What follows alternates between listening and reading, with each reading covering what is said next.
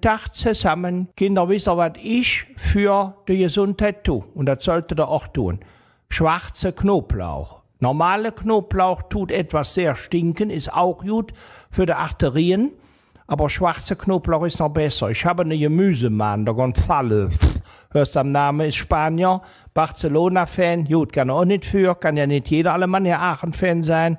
Aber der hat mich dem empfohlen. Und der ist gut für die Arterien, der ist gut gegen die freien Radikale und du kannst auch gut, ka also kaputt wieder fitter werden. Schön.